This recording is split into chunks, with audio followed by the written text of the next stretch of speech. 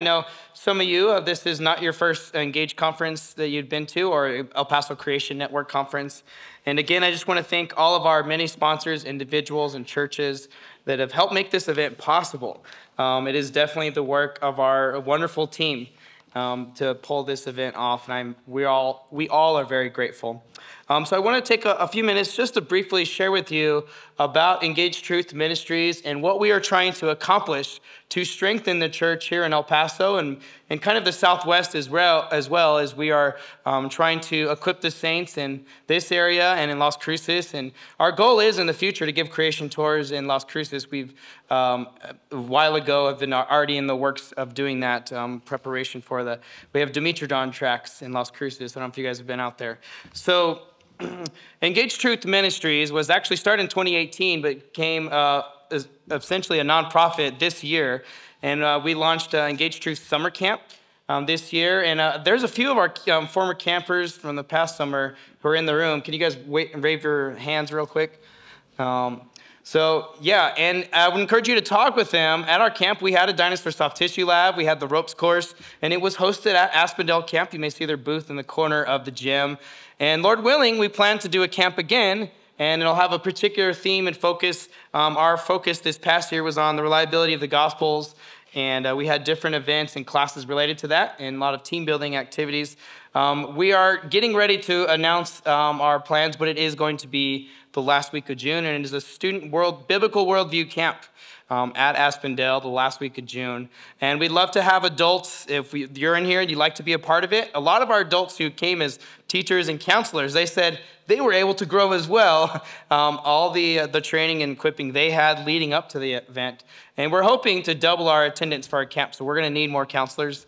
Um, so we'll plant that seed there now. Um, one of the, the heartbeats of what we do um, recently, we just started this past semester, is our Engage Truth Worldview Academy. now, some people may think, when, of course, when you think the, of the word apologetics, sometimes people just glaze over, unfortunately.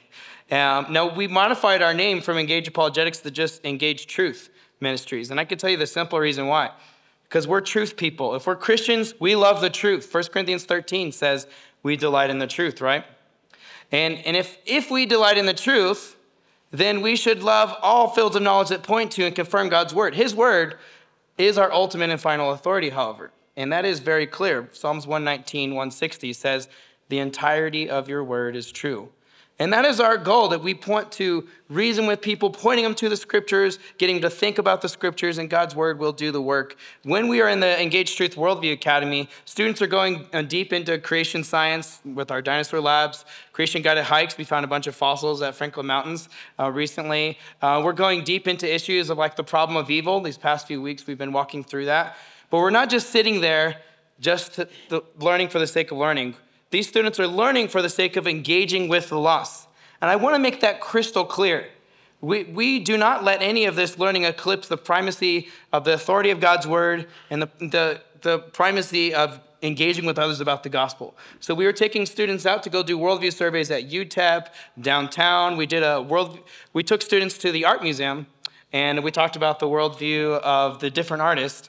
And, and then uh, we were able to kind of analyze that and see the impact of how that affects art. And some art is not very good with the, without a biblical worldview. It's just a bunch of stuff thrown on the wall. Um, but then we were able to go engage with people downtown. And so our heartbeat is to engage with the lost about the total truth of God's word. And uh, what I want to do is give you, uh, you guys an opportunity to hear from one of our parents and one of our students in the Engaged Truth Worldview Academy. And this is, again, our first semester. We plan to start it next semester, continue raising up an, uh, an army of ambassadors for Christ. Adults, college students are welcome to be a part of this. We have middle schoolers and high schoolers uh, learning how to do formal debate in our academy as well. Um, so we'd love for you guys to be a part. Where is, I know some of them are spread out. Um, we could have uh, Rebecca, would you like to come up?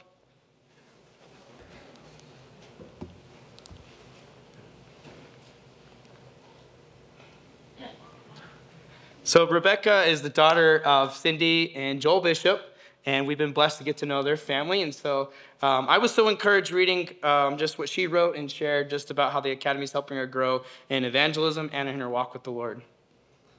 Um, yeah, um, so I'm Rebecca. Um, Yeah, being in the academy these last few months has been really good for me. It's helped me grow in my faith a lot. Just like all the things we've been doing, I've really enjoyed like learning about how reliable the Bible is, um, especially the Gospels, and doing debate um, has been really great too. And we've just like learning cross-examining each other and all of that has been really fun. Also, just like the fellowship in the academy has been really nice. Just getting to be around kids who want to learn about the Bible also and just having fun together.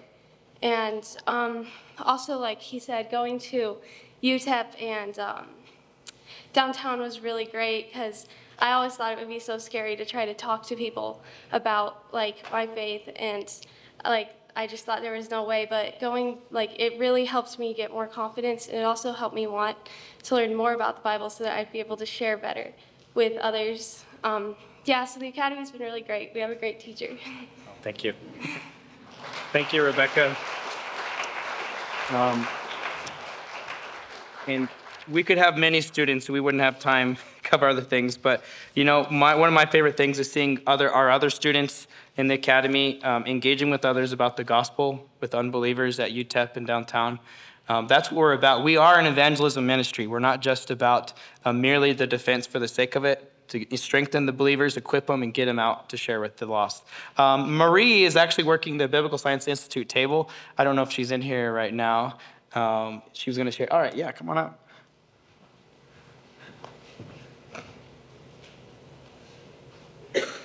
And how about a round of applause for all our hard work with the BSI table? Thank you. Thank you, everyone. Um, my name is Marie Arellano. I have two children who are enrolled in the Worldview Academy with Caleb, and it's been a pleasure. It's been a great blessing for our family. I feel that even though I go and drop them off, I don't drop them off. It's not a drop off, it could be a drop off program, but I've chosen to stay, and I feel as if it's even been, uh, I'm going to school myself um, as an adult, and I've known the Lord for 20 years now. I believe this has given us as a family a refresh, a refreshing way how to approach those that don't know the Lord. Um, the way Caleb has embarked in challenging the students, um, us, the moms that sit there on the back, uh, we've become part of their, of their dialogue, and it's very enriching. We get to challenge our kids even to we pretend to be atheists and challenge them, and that is really difficult. Um, Caleb goes ahead and challenges us parents even to be involved. So uh, one of the areas that my, I've noticed that my kids have grown is in the evangelism and be, feeling confident to approach people that are strangers. We ourselves as parents went ahead and go and give tracts and talk to people about the gospel, but till now we we've seen them desiring to even oh i have a way to approach them just by asking them a simple question. And caleb goes ahead and, and gives you a format to go ahead and approach him to his favorite phrase is to put a rock in their shoe and um, and that is it, it it's opened the opportunity to great conversations with many students uh, downtown. As you heard him say, we went to the to the museum and seeing it from a biblical worldview, someone presenting it to us and explaining it, that in dissecting it, it was very enriching for all of us. And I really thank the Lord for Caleb's life and his family. And I encourage each and every one of you to continue to pray for him and for his team and and I hope to see more more of you all go and attend. Yeah. Thank you. Thank you, sister.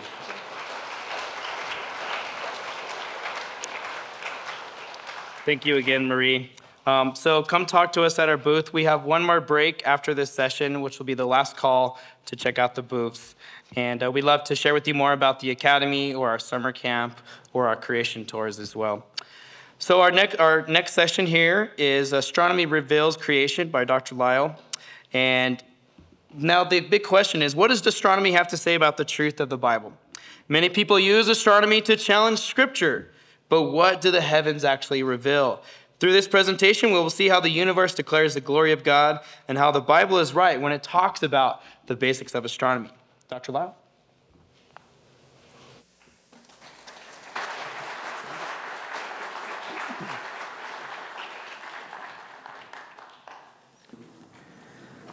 Well, it's good to be back with you this afternoon. I Hope you had a good lunch. And uh, again, astronomy is our theme for the day. So I want to show you how astronomy reveals creation. And the goal here is just to give you some little uh, tidbits to share with your friends who are perhaps under the impression that astronomy somehow refutes the Bible because it, it really doesn't. It uh, confirms biblical creation, the Christian, the Christian worldview. And we'll see how the secrets of the cosmos confirm what the Bible teaches. We're going to look at four aspects of creation, of astronomy, and how they are consistent with Scripture.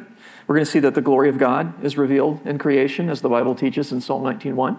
The universe is not a chance accident or an explosion or something like that. It is amazingly well designed, and it reveals God's glory. We're going to see that the Bible is right when it speaks on the basics of astronomy, things that you would learn in a freshman astronomy class. The Bible does touch on some of those issues, and of course, it does so correctly because it's written by inspiration from God. We're going to see that the Bible is right when it addresses the age of the cosmos. We'll see that there's evidence that's consistent with the biblical time scale. Lines of evidence that you don't often hear in the media or in public schools and things like that because it goes against the narrative, but the evidence is there nonetheless. We're going to see the Bible is right when it addresses the uniqueness of earth as a world that God formed to be inhabited and something that is apparently unique in the universe. And so these are areas of creation that confirm that what the Bible teaches is right. And ultimately, these we're not judging the Bible by these lesser standards, but we're pointing out that the Bible is consistent with the world around us. And our understanding of that, when we understand the world properly, it lines up with scriptures so that our faith does not rest on the wisdom of men, but on the power of God. So let's jump right in and see how the glory of God is revealed in creation. The Bible says in Psalm 19:1, "The heavens declare the glory of God; the skies proclaim the work of His hands." And indeed, they do. And there are many ways in which the universe declares God's glory. We're going to focus on two. We're going to see how the size of the universe declares God's glory, and how the beauty of the universe declares God's glory. Those are two aspects that, in my mind, have really attracted me to the field of astronomy.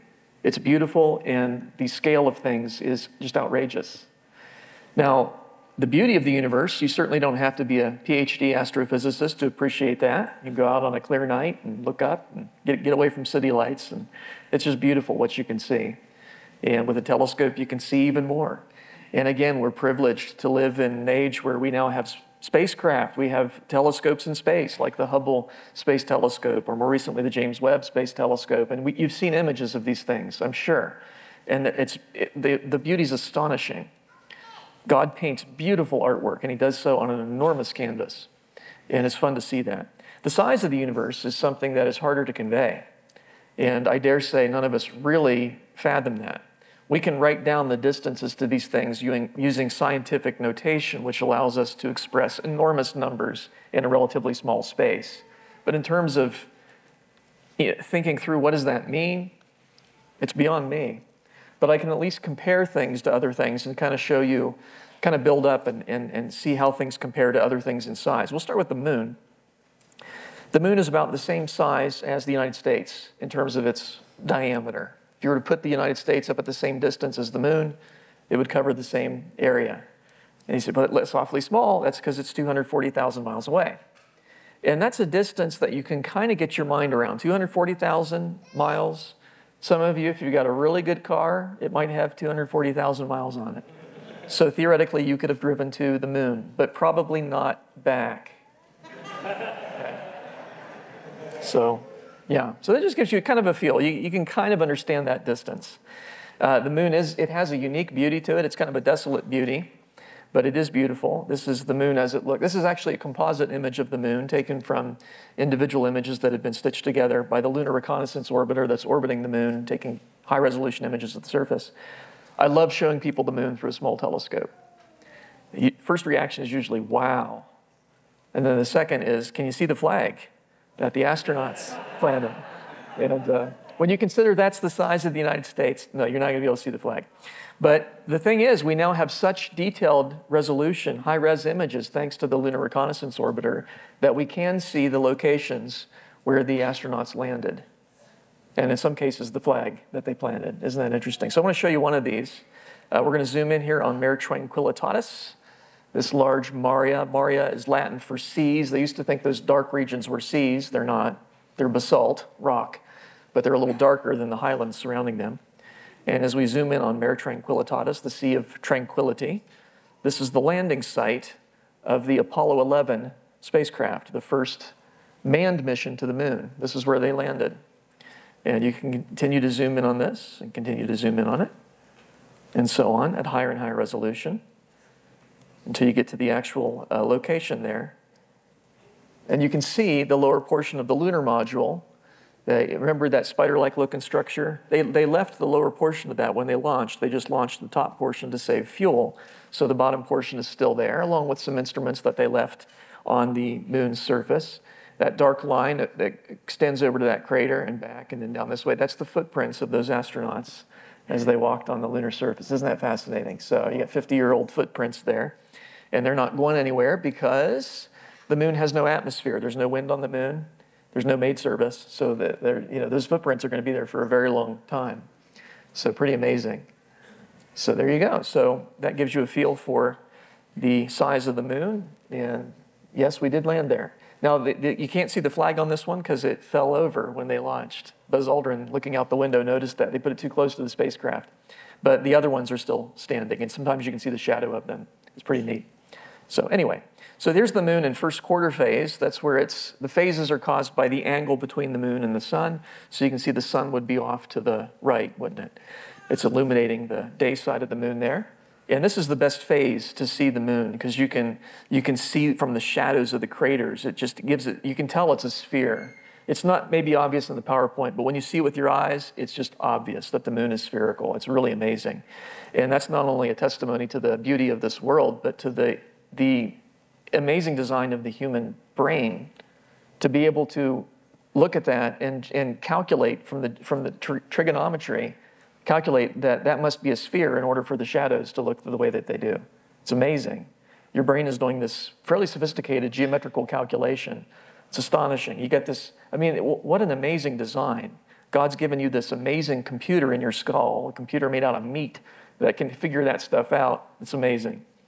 Uh, here's the moon compared to the Earth. You can see the moon is smaller than the Earth. So you say, well, we got a pretty big planet there. And indeed we do. If you've ever driven through Kansas, you know the Earth is big. It's big. And, uh, and it is big until you compare it to other planets like Saturn. There's Saturn compared to the size of the Earth. Saturn's about nine Earths across. That's just the planet. The rings extend farther out in space. The rings are trillions of tiny little moonlets that orbit around Saturn's equator. And so Saturn, pretty big. Now, when you look at Saturn in a backyard telescope, it looks like it's about that big. And it's, no, it's beautiful. You can see the rings, and it is stunning. And, and again, the reaction, everybody, when they look at Saturn, wow. And then they look down the telescope like, are you tricking me? Is that a slide? Because it, it, nothing looks like it. And it's so cool to see with your own eyes. It's, it's just magic. There's something about seeing it. I mean, that's pretty, but when you see it with your own eyes, there's something magical about that that photographs don't quite capture. But uh, it, just look, you, you, it just looks like it's about that big. You just want to grab it and stick it in your pocket and take it home with you, but you can't because it's nine times the size of the Earth. So there you go. And it looks that small because it's a billion miles away. And that's, you're starting to get into real distances there. That's pretty impressive. And you say, well, you know, the Earth's maybe not that big, but at least, at least we got big planets. Saturn's big until you compare it to the sun. There's the sun. The sun is 100 Earths across. And just to give you a sense of scale, those sunspots that you see there those are about the size of the earth. So that gives you kind of a feel for how big the sun is. And the sun is a star, or stars are suns, if you like. And we, we kind of take that for granted in our modern age, but that was a real revelation in, in the ancient times that those little tiny pinpricks of light you see in the night sky are the same type of object as the sun. They're just much further away. The sun is a mere 93 million miles away. It's our next door neighbor. How long would it take to drive 93 million miles at like 65 miles an hour? Over 160 years. So you couldn't do it in your lifetime. That's without stopping for bathroom breaks. Okay? But those other stars are so much further away that they just, you, see them in the night sky. They don't even make the sky turn blue or anything because they're far, they're, they don't give off as much light from our perspective. Now, the sun is above average in terms of its size. So you said we got a pretty big star. We do. The red dwarf stars, which are more common than the sun, are smaller than the sun. There's some, some uh, relatively nearby red dwarf stars. But there are stars that are much bigger than the sun. You saw some of these in the created cosmos. I'll show you some now. Mintaka, that's one of the stars of Orion's belt, the rightmost star on Orion's belt, is quite a bit larger than the sun. It's a blue supergiant. White supergiants are larger than that. Canopus, for example, which you can see, you can see that from Texas in the in around February in the evening sky, low in the south. The, the star's kind of by itself. That's Canopus. That's a white supergiant. And then red, red supergiants are bigger than that, like Antares which is even bigger than Betelgeuse. And you saw this in the created cosmos, but if you put this where the, sol- where the sun is in the solar system, we'd be inside it. It's amazing. So that's, that gives you a feel for the size of some of these stars, some of the larger ones. And stars get maybe twice that big, but not, not a whole lot bigger than that. For, for physics reasons, they, they, they don't get much bigger than that. So our solar system, if you were to put it in a box, you could put it in a box that's about 6 billion miles on the side. That's pretty good. So that gives you a feel for how big our solar system is in terms of units that we have some knowledge of.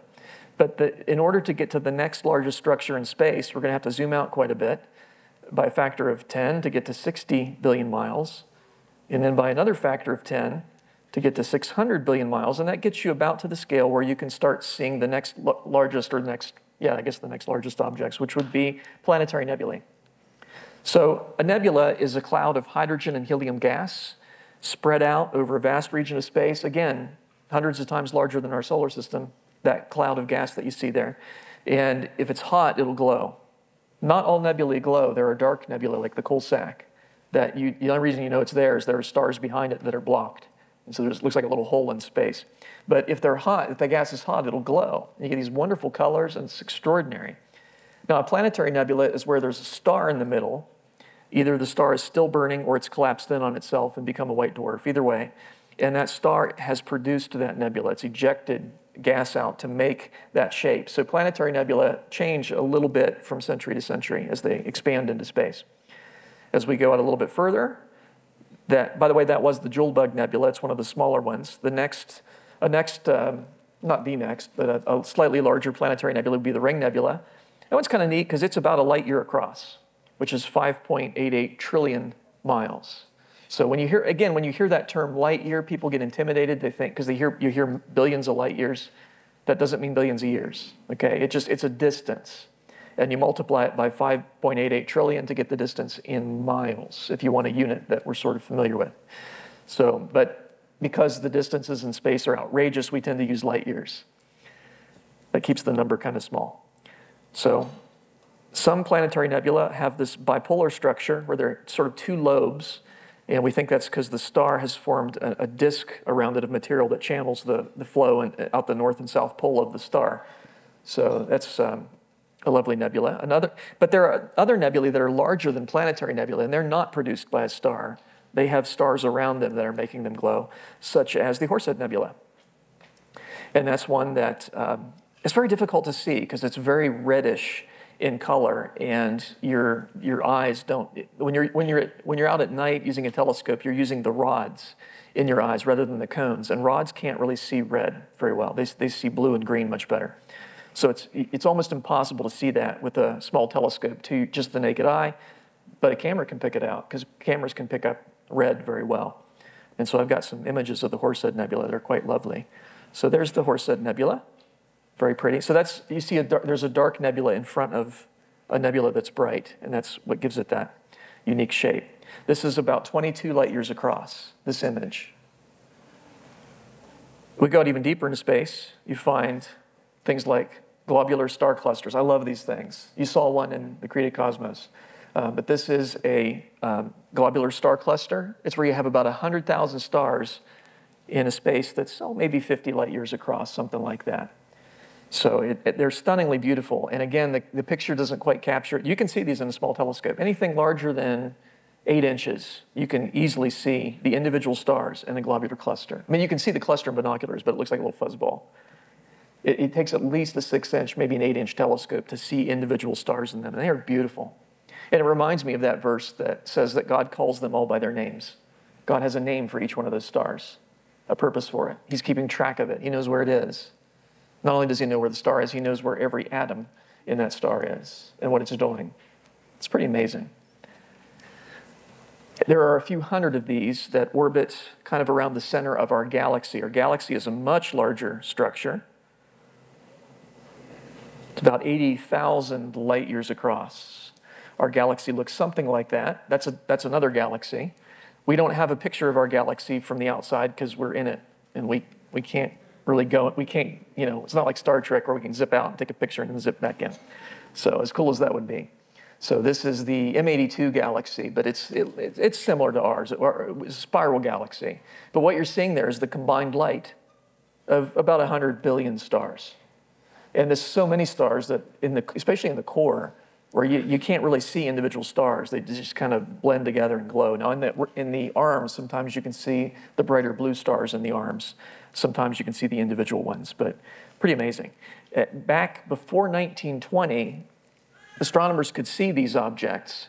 They didn't realize what they were, though, because they didn't have the detail we have today. They could see these clouds, and they thought maybe they were nebulae.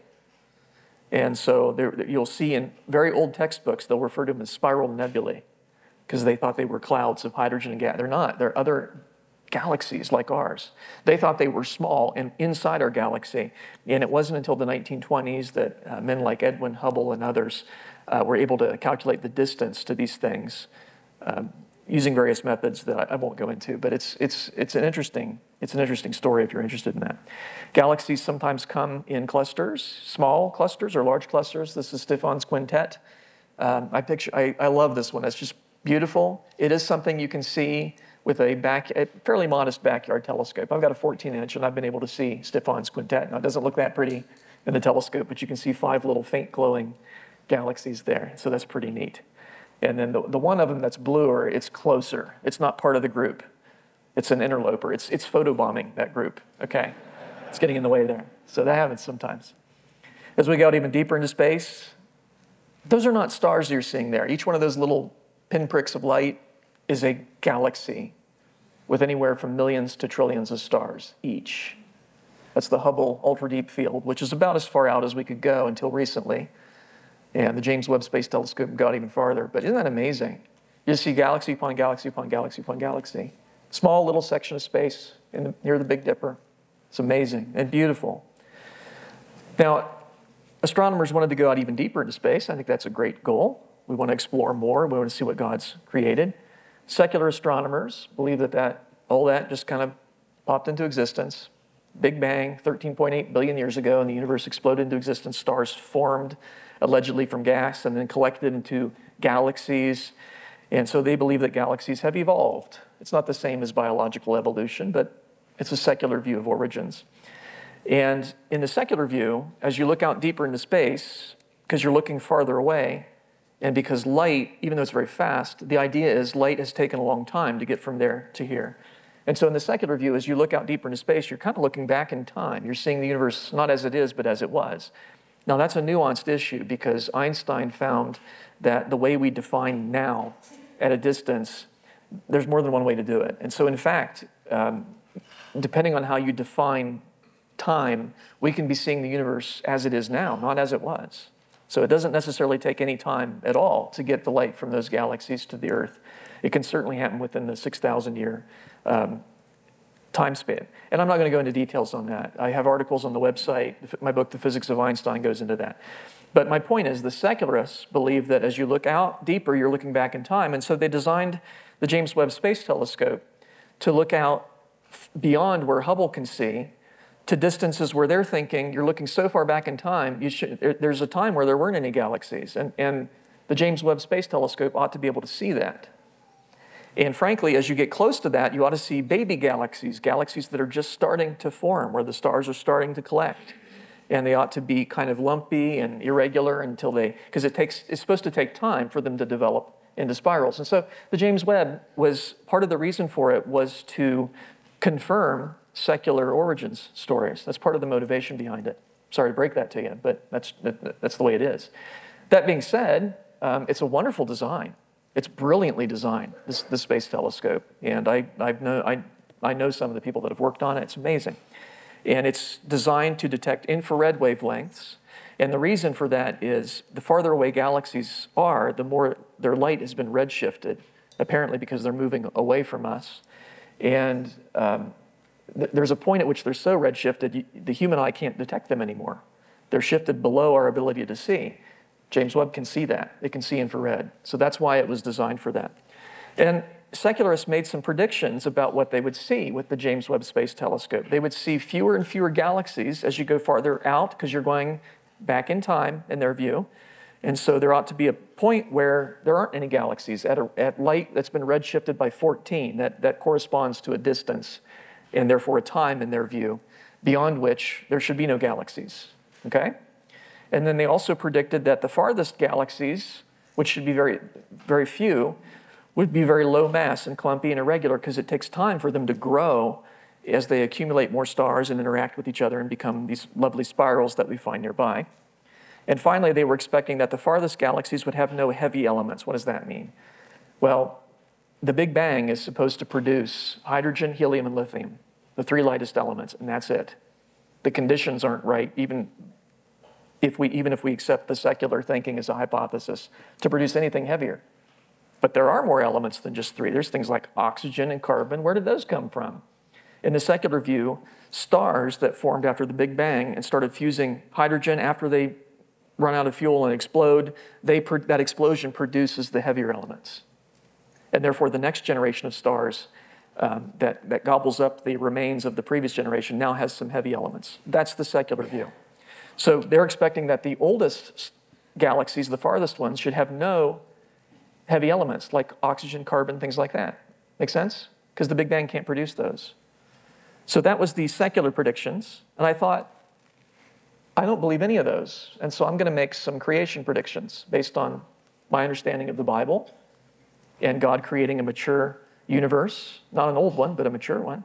So I'm predicting that there would be lots of galaxies at great distances, even beyond redshift 14, because I don't believe in the Big Bang. And so I don't believe there's any reason, I don't believe galaxies just form. I think God created them, and He created them all as adult galaxies, just like He did with Adam and Eve. And so I'm not expecting to see, I'm not expecting to see baby galaxies. I'm expecting the farthest galaxies that we can detect would be fully formed, massive, and well structured. And that they will exist at greater distances than the secularists expect. Why would God stop at redshift 14? I think they continue to go on out.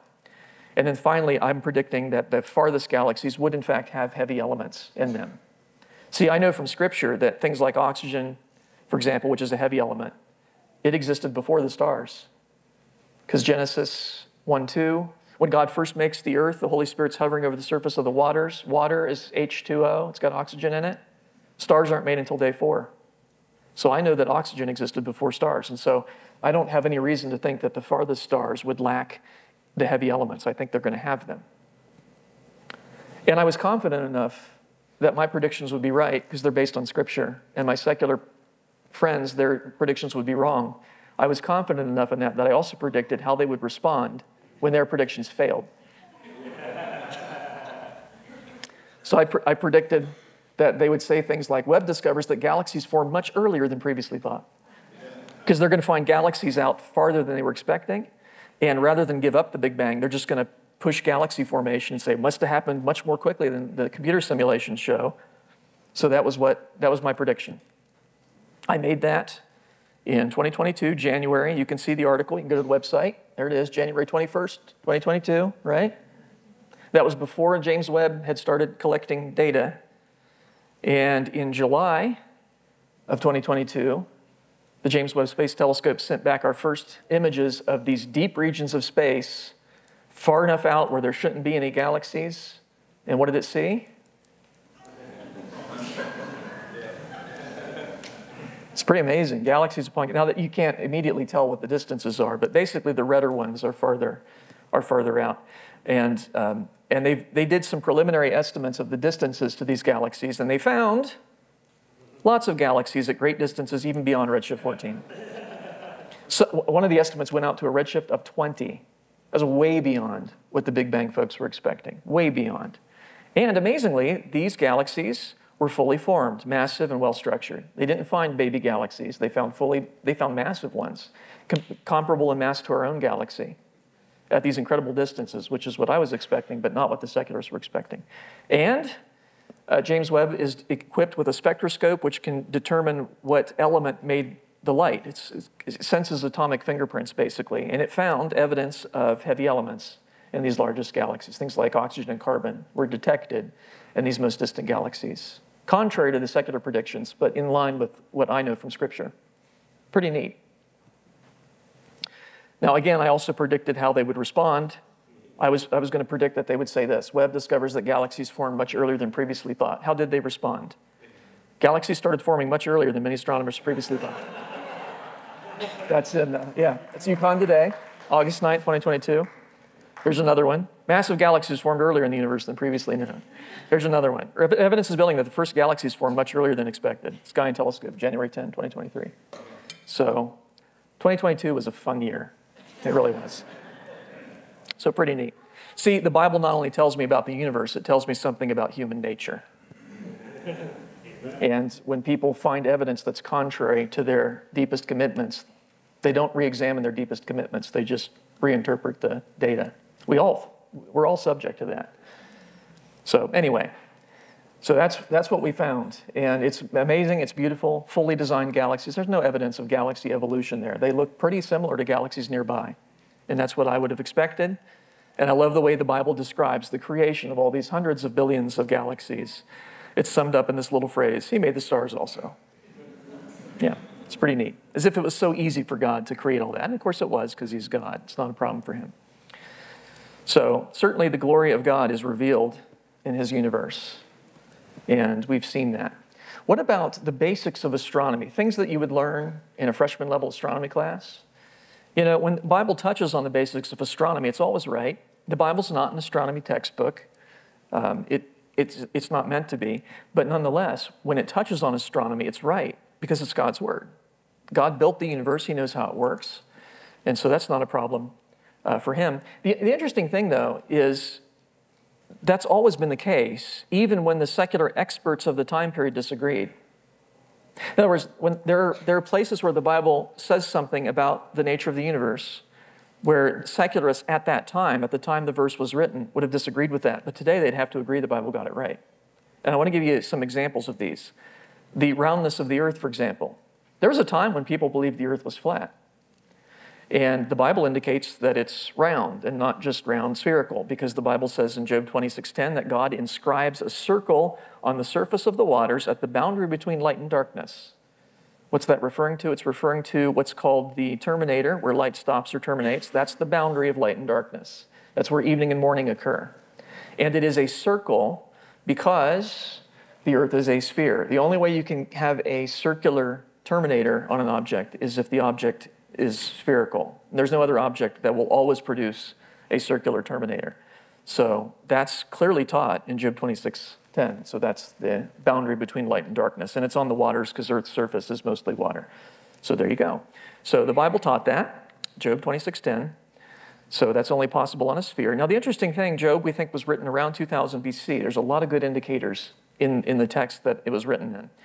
But the funny thing is, until around 500 BC, all pagan cultures, as far as I know, believed that the earth was a flat disk. Even the Greeks, up until about 500 BC, thought the earth was flat. Uh, many of them believed it floated in water. It was kind of a disk that floated in water. Um, the Greeks eventually th- thought, eventually realized that it floats in space, but they still thought it was flat for a while. So the Bible was right, and those experts, they were wrong. And they have egg on their face today. And, and by the way, the idea that Christopher Columbus was the first to come up with the earth being round or was out to prove it is a myth. People already knew the world was round at the time of Columbus. They just didn't know how big it was, and he thought it'd be faster to go that way, which it isn't. But I'm glad he made the trip. So, yeah. Earth floats in space. God hangs the earth upon nothing. It's a great description of the nature of gravity. God, the, the earth is suspended in space, it hangs on nothing.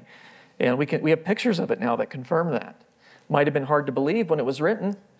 Because again, it, first of all, it's hard to picture that. I mean, today we have pictures, but in the ancient world, to think, well, the earth floats on nothing, that can't be. The ancient cultures thought it floated in water. The Babylonians thought that. Even the Greeks thought that in you know 800s BC around there. And that makes more sense because you can see, we understand buoyancy. We can see things float in water. We get that. But to hang something on nothing, you can't do that. Well, you can't, but God can, and He has. And the Bible was exactly right. Now, it's written poetically, but it's still true. The expansion of the universe. Isaiah 40, 22 states that God stretches out the heavens like a curtain and spreads them out like a tent to dwell in, indicating that, the, that God has increased the size of the universe since its creation. So, what would that look like? Well, if, you ha- if that's what it looked like at creation, and God has stretched it out, then it looks more like that today. Okay? Stretches or is stretching, tense is a little difficult in Hebrew. So, but in any case, so that indicates the expansion of the universe. That was discovered by scientific means in the late 1920s. Pretty neat. And it's not obvious. If you go outside tonight and look at the sky, and you go out tomorrow night and look at the sky, it, it looks about the same size. It's not obvious that it's expanding. It's not obvious. Uh, it required modern scientific equipment like telescopes and spectroscopes to be able to measure the redshifts of the galaxies to find that they are, in fact, receding away from us and from each other. And that's what we call the, the Hubble law after Edwin Hubble, who did a lot of the early research on that. So, pretty neat. Now, some people have thought, well, does this mean a Big Bang? Because if they're farther out today, that means they were closer in the past. True? Yes. But if you, if you keep running it back, keep running it back, does that mean they were all that they came from a point that exploded into existence 13.8 billion years ago? No. Just because something's expanding today doesn't mean it came from a point. It doesn't mean that it exploded into existence 13.8 billion years ago. Some of you are expanding a bit. That doesn't mean you exploded into existence 13.8 billion years ago, right? Just means the universe was smaller when it was created. Nor, is that, nor was this a prediction of the Big Bang. A lot of people think, well, didn't the Big Bang predict that the universe was expanding? And there it is. You know, no. The expansion was discovered in the 1920s. The Big Bang, the idea of the universe coming from a point, was 1931. George Lemaître, who invented the Big Bang, already knew about the expansion of the universe, and that was his way of explaining it naturalistically. Now, he did believe in God, but he didn't believe that God had anything to do with creation. He didn't believe in Genesis. So he was trying to find a naturalistic explanation for um, the universe apart from God. Conservation of mass and energy. I believe the Bible teaches that the amount of stuff in the universe is constant. You can change stuff into other stuff, but you can't create something from nothing and you can't get rid of something. You can't make it cease to exist. And we'd expect that, first of all, because God ended his work of creation by the seventh day. He was done, right? And all things were made by him. That means nothing new is going to pop into existence because it would mean God's still creating, which cannot be because, all, because God ended his work by the seventh day. Or it would mean something could come into existence apart from God, which cannot be because all things were made by him. So those two principles together indicate no new material is going to come into existence. God allows us to transform the materials we have. We, we can do chemistry and change you know, one molecular substance into another, but this, it's the same amount of stuff. And we would expect stuff doesn't cease to exist because Christ upholds all things by the word of his power. He maintains that which he created, and in him all things hold together or consist. So nothing, material's not going to cease to exist either. And those two principles together are what we call conservation of mass or conservation of energy. Einstein realized that energy and mass really are the same thing. They're just measured in two different ways.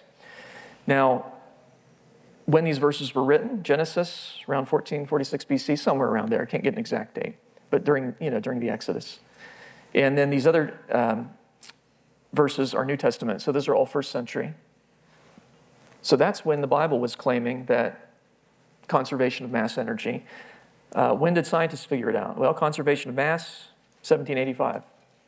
Conservation of energy, 1842. And it's interesting though, because you think, well, you know, James Joule is credited with the discovery of conservation of energy along with Mayer. But um, Joule was apparently a Bible believer. And he wrote, he indicated when he discovered conservation of energy that it, well, it makes sense because God's not creating anymore. So he, he used Genesis as part of his argument, which I think is pretty neat. So he was thinking biblically, and that led him to make the scientific discovery. So there you go. But the Bible had it right long before the secular experts of the day. Back when the Greeks were thinking that st- new stuff can come into existence, the Bible says, nope, God's done creating. And the Bible was right, and the experts of the day were wrong. Innumerable stars. The Bible describes Abraham's descendants as numerous as the stars of the heavens and the sand which is on the seashore, which is a figure of speech indicating a humanly uncountable number. And the Bible says as much in Genesis 32 12, which, which is too great to be numbered, or which cannot be numbered for multitude. So there you go. And that's a great, a, a great analogy for a humanly uncountable number. You can't count the number of stars, right? But it might have seemed like not such a great analogy when it was first written, because the number of stars you can see naked eye, somewhere between 3,000 and 10,000, we estimate. And you could count to 10,000. It would be tedious, but you could do it. And then in 1608, the telescope was invented by Hans Lippershey. Galileo built his own in 1610, and he pointed up at the, at the Milky Way, that cloudy band you see in the summer sky. He pointed out, oh, that's billions of stars. We estimate there's at least 100 billion stars in our galaxy. You can't count to 100 billion in your lifetime. There's not enough seconds to do it. So it's a great analogy for a humanly uncountable number. And we think there's at least as many galaxies as there are stars in our own. So, by the way, there was a time in the Middle Ages when many astronomers thought there were 1,022 stars. Where did that number come from? Ptolemy had cataloged 1,022 stars. He was a Greek astronomer, and there was a philosophy at the time that everything worth knowing had been discovered by the Greeks, basically. They could do no wrong. Even though Ptolemy never claimed that his list was exhausted, uh, they thought it must be, despite the fact you can see more than 1,022 stars. So it's kind of interesting. It just shows you how a bad philosophy can cause you to reinterpret and misinterpret what's right in front of you. So, have we learned a lesson of history? Because when the experts of the day have disagreed with the Bible, the Bible has always turned out to be right. Every time. Every one of those that I've shown you, when the verse was written, the secular experts of the day did not believe it. And they are what we call wrong. Right? Have we learned that lesson? I, I, hope you've learned that lesson. When, when God's word touches on something, it is right. God doesn't need your help to reinterpret his word to be consistent with what the secularists think is the case. Let God's word be true, though every man a liar. Not everyone's learned that lesson because there's, there's one aspect today where secularists, I mean, secularists would have to agree, yeah, the world's round. The Bible got that right. Expansion of the universe, Bible got that right. The uh, number of stars, Bible got that right. But the Bible's wrong about the age of the cosmos. Now, those people have not learned a lesson of history, have they? They've not learned a lesson of history. But what I want to show you is that the evidence is consistent with what the Bible teaches about the age of the cosmos. The Bible does teach what we might call a young cosmos. I don't, I don't like using that term because 6,000 years is hardly young. I mean, how many of you are even 1,000 years old, right? I mean, and the universe is six times older than that. But it's young compared to what the secularists believe, so maybe we're stuck with it. But in any case, we covered uh, this morning that God did create in six days. And from those genealogies, we know that was a few thousand years ago, something like 6,000 years ago. And please don't, I'm not trying to put an exact date on it because I don't think we can. We don't know how they rounded the ages in Scripture, but it's, it's not going to be millions of years, is the point. And I want to show you that there's evidence that is contrary to that, but how do we evaluate the evidence? And this is something I need to give a little bit of an explanation for the arguments, the scientific arguments that argue against a billions of years old universe. They are all based on what's called an internal critique. An internal critique is where we accept, for the sake of hypothesis, the secular assumptions and then show that they lead to an inconsistency. It's a reductio ad absurdum. You're reducing your opponent's position to absurdity by temporarily standing on it and showing that it leads to a contradiction. That's a very powerful way of debating, by the way. I would encourage you all to think through these, uh, the reductio ad absurdum. It's very powerful. Jesus often used it in his earthly ministry. So, what are the secular assumptions that are involved in age estimates? There are two, primarily naturalism. Secularists believe that what we see today was not formed supernaturally by God. Now, by the way, I don't believe that everything we see today, like this church building, I don't think it was formed supernaturally by God. It was made by people. I get that. It's subsequent to creation. But I don't believe that everything came about by natural means or by man made means. I believe that some things were supernaturally created, like the solar system, the first galaxies, and so on. So I'm not a naturalist. Naturalism would say everything comes about naturalistically within the laws of nature, and therefore no, no miracles, no supernatural acts of creation. And then, second, uniformitarianism. Uniformitarianism is the belief that rates and conditions are kind of, have always been kind of what they are now, unless there's a, unless there's a real good reason to think otherwise. And they would reject some of the really good reasons to think otherwise. So, uh, like the worldwide flood, the worldwide flood caused canyons to erode much faster than they are today because you're dumping all this water very quickly off the continents. So, secularists reject the worldwide flood because it violates their assumption of uniformitarianism. They believe that mountains were always raised at the kind of slow rates at which they're being pushed up today. There's a little bit of plate tectonics left over even today after the flood. and So mountains are being pushed up a little bit, but it's very slow today. That would have happened much more quickly during the flood year.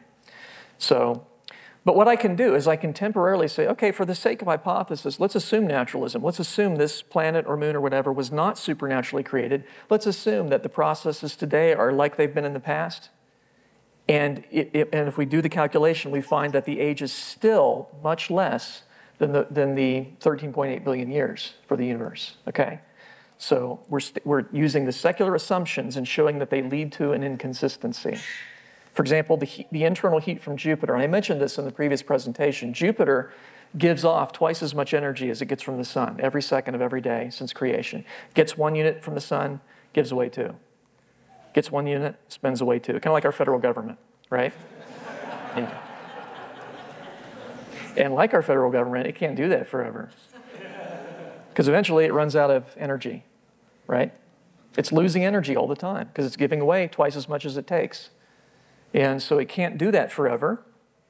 2.13 is the latest estimate. It gives off 2.13 times as much energy as it gets from the sun. And uh, it's what, you know, it's a big planet. So it can do that for a while. It can do that for 6,000 years. And it's cooled off a little bit in 6,000 years. It's lost some energy. But if it's 4.5 billion years old, it ought to be an icicle by now. It shouldn't have any internal heat left. That's a problem in the secular view. You can think of it like a, um, you take a potato that's just been in the microwave and you bring it out, you can feel the heat coming off of it, right? That's radiative transfer. It's releasing energy, which you can feel. You come back two hours later, still warm? No. It's cold because it's radiated away all of its heat. Jupiter's been doing that since creation. Now it's a much bigger potato, so it can do that for 6,000 years. But if it was 4.5 billion years old, it's a huge problem. Problem's even worse for uh, Neptune. Neptune gives off uh, something like 2.6 times as much energy as it receives from the sun. That's a problem in the secular view. And I haven't seen a good explanation for that. Earth's magnetic field is decaying. We've been able to measure this, we'd expect it.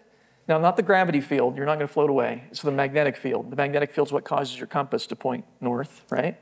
And so that magnetic field is diminishing. And we'd expect that. Magnetic fields are caused by electrical current in the core, and that current encounters resistance, slows down, which, which causes the energy to drain. And it's, it's like anything else. The bigger the battery, the longer it lasts. Remember those old D cell batteries? They're not used so often anymore, but they, man, they lasted forever because they're big. Um, and then you have the little AAAs that, you know, if, if, it lasts through this presentation, you feel blessed, right? So now, so the Earth's kind of a, you know, it's a medium-sized planet, but um, it's smaller than Jupiter, certainly. And we've been able to measure the magnetic field decay for the last 150 years or so. It is decaying, and it's, it appears to be an exponential decay as far as we can tell. And if you run back the half-life, that means the magnetic field would have been 20 times stronger at creation which would have been nice, actually. Your, comp your compass would work really well at creation. But also, that magnetic field acts as a barrier. It deflects cosmic rays, which are harmful. They can cause cancer and things like that. They damage your DNA. So uh, we'd, have, we'd have had increased protection at creation. That would have been nice.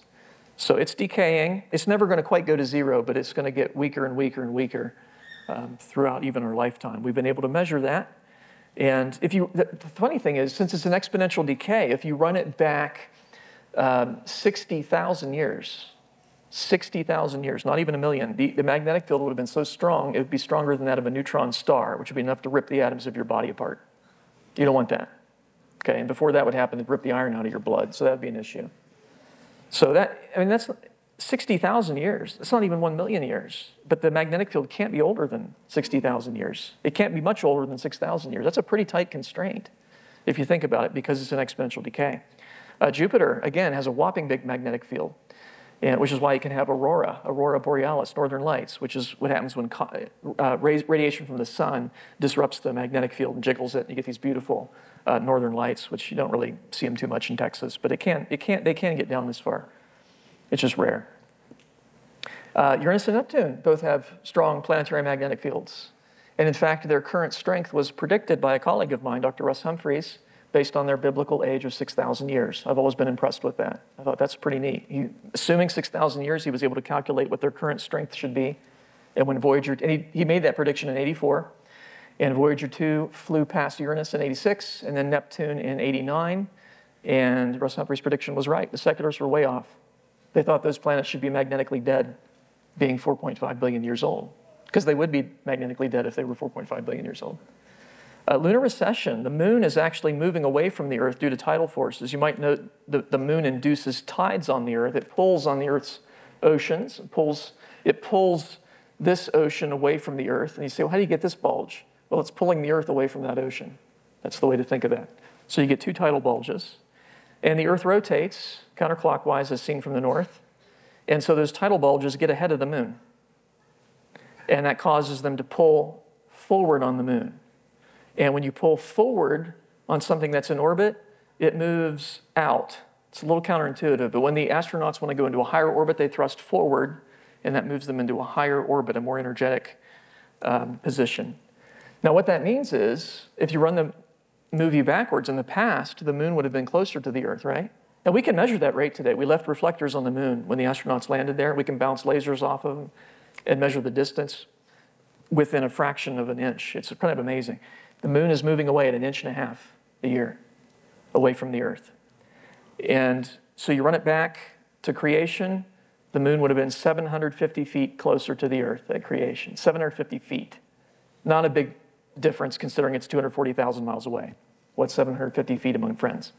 But if you run it back millions of years, and we've done, and you have to do the calculation right because if the when the moon's closer to the Earth, the tidal bulges would be bigger, which means the effect would be stronger. And so it, it really dives into the Earth at 1.45 billion years in a hypothetical past.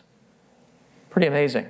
And so you, well, th- that would be an upper limit on the possible age of the Earth Moon system because you can't get less distance than zero distance, right? So that's an upper limit at 1.45 billion years. And you say, well, that's, that's a long time. Yes, but the Earth and Moon are supposed to be 4.5 billion years old in the secular view, right? And 1.4 is less than 4.5 for those of you that are Common Core educated, okay? So that's a problem. Comets. Comets are made up of ice and dirt, and they orbit around the sun in elliptical paths, coming close to the sun and then whiplashing back out.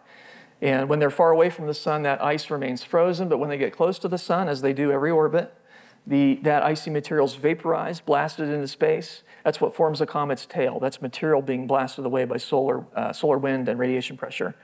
And sometimes you'll get two tails, an ion tail and then a dust tail. So they're very beautiful. But every time you see a comet, it's getting smaller, it's losing mass. That's what you're, you're seeing comet debris being blasted away from it. And we know the source of the icy material. It's typically a few miles across. That's the typical size of the comet's nucleus, the source of the ice. And we can measure the rate at which it's being depleted because we can see it. We can at least estimate that. And we can estimate that a typical comet could last no more than about 100,000 years before it completely runs out of material. But in the secular view, the solar system is supposed to be 4.5 billion years old. So why do we still have comets? You see, that would be, that would be the, the problem there. And my secular colleagues have said, well, there's, there's a Kuiper belt that supplies the short period comets. There's an Oort cloud that, that's, that supplies the long period comets.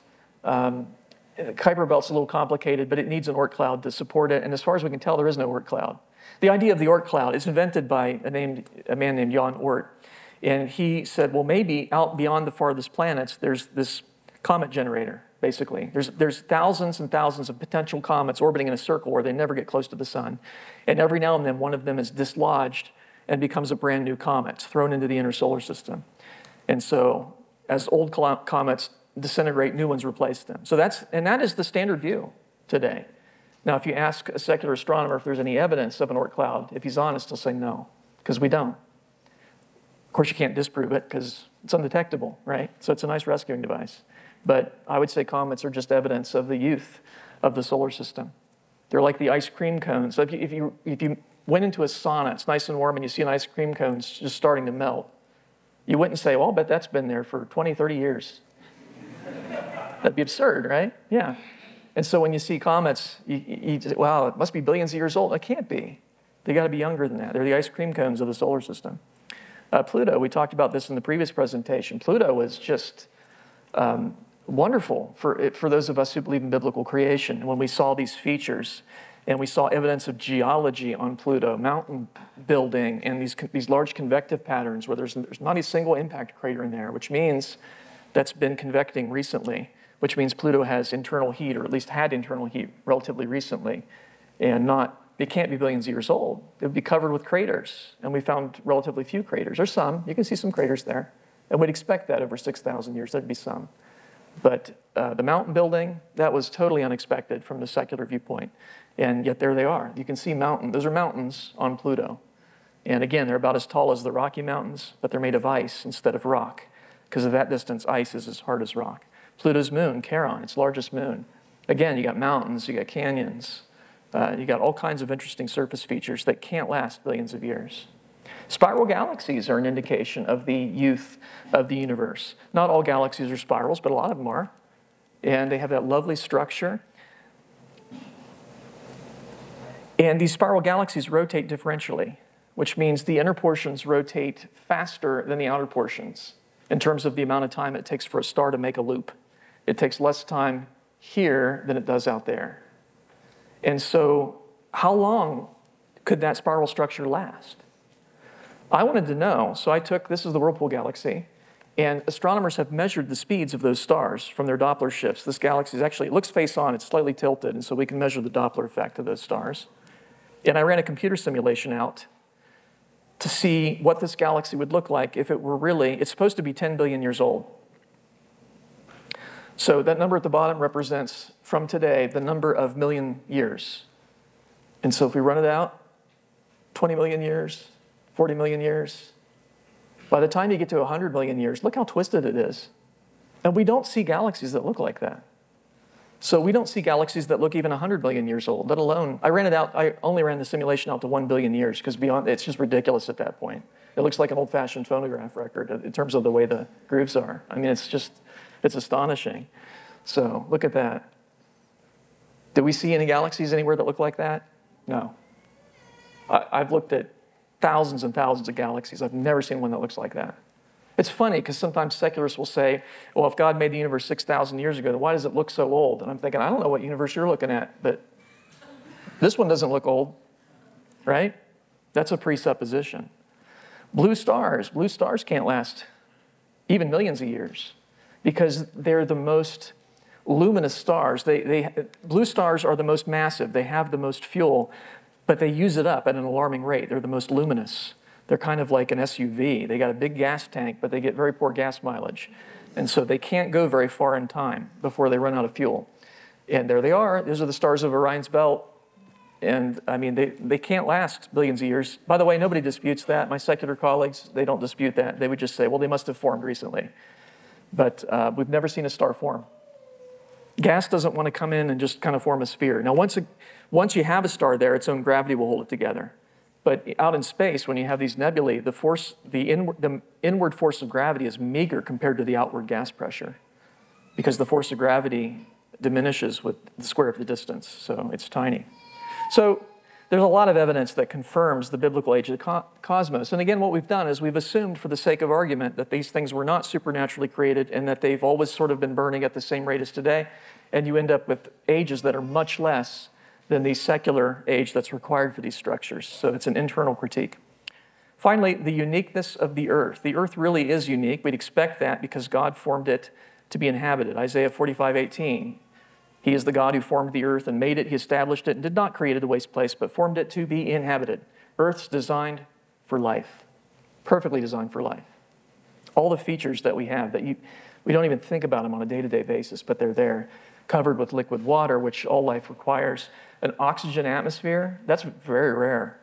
In fact, I don't think we've discovered any other world that has free oxygen in the atmosphere, and that's what we need to breathe and so on. Um, Earth's neighbors, the moon, I love the moon. I'm jealous of the astronauts that got to walk on the surface, and apparently we're going to go back here in a couple years, which is very exciting. Um, but yeah, it's not designed for life.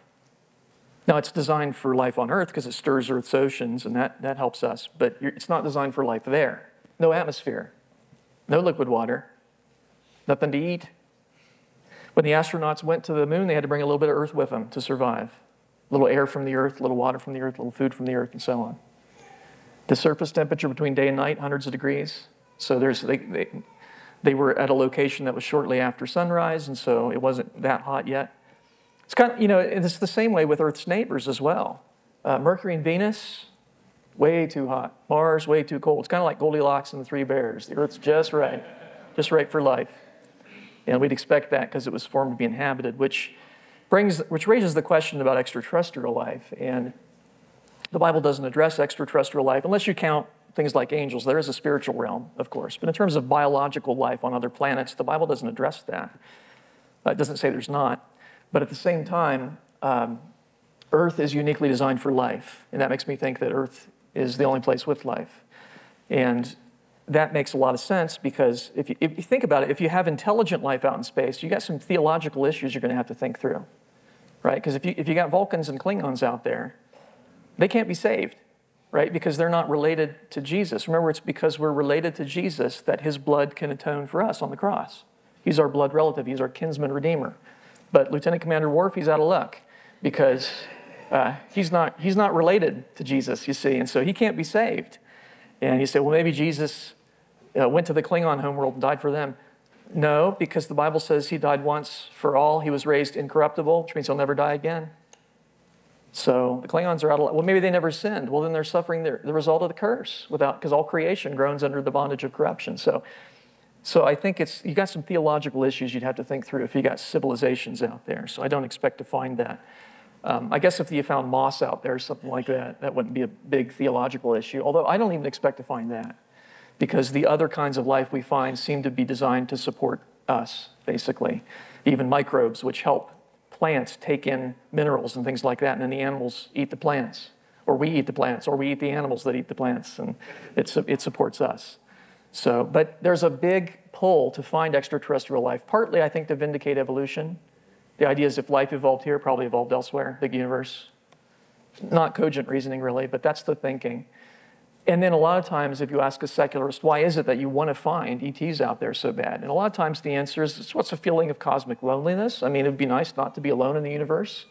Uh, we, we, sort of, we sort of want this, there to be a superior life form out there that could give us the answers, the meaning of life, and maybe they've developed technology that, that could cure our diseases. Maybe they've even figured out how to beat death entirely.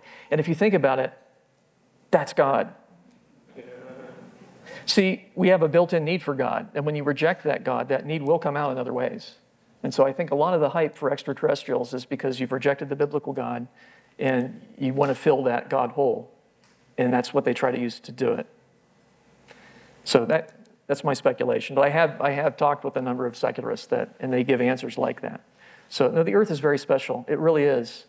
And you know, it's uh, in, in one sense, it's the pale blue dot, as Carl Sagan put it. It's just so small compared to the other things we see in space. But that really just shows us how big God is. Because of all those worlds that we've looked at today, hundreds of billions of stars, hundreds of billions of galaxies, this is the one where God walked. This is the one where God became a man and, and, paid for our sins on the cross and promised to save us and resurrect us if we would just trust in Him, repent of our sins and trust in Him, believe the gospel. Pretty neat. One of the astronauts who walked on the moon, Jim Irwin, uh, at the time he was not a Christian when he walked on the moon, but later he became a Christian and a, and a biblical creationist. He was a solid guy. And there's a quote by him, something to the effect of the amazing thing is not that man walked on the moon, but that God walked on the earth. I think that's amazing. I think that's amazing. Yeah. So I hope that's been a blessing to you. So the universe does declare God's glory. It really does. And I hope that's been a blessing to you. So again, check out the resources. I won't go through them all except to point out that this talk, a lot of what I mentioned here is covered in Taking Back Astronomy. And don't forget about the packs as well, because all these you can get on the website, but the packs you can only get, the packs you can only get here today. And I would like you to go ahead and, and do your, finish up your uh, book shopping uh, before the Q&A. If you want to come back, we'll have a Q&A in about 15 minutes. And uh, a lot of people, that's kind of fun because I never know what I'm going to get with those. That's always interesting. So, and remember to sign up for our monthly newsletter. How many of you already signed up for the newsletter? Okay, that's less than half. The rest of you need to repent of that sin and sign up for the newsletter. Check us out on the web, Biblical Science Institute. Thank you very much.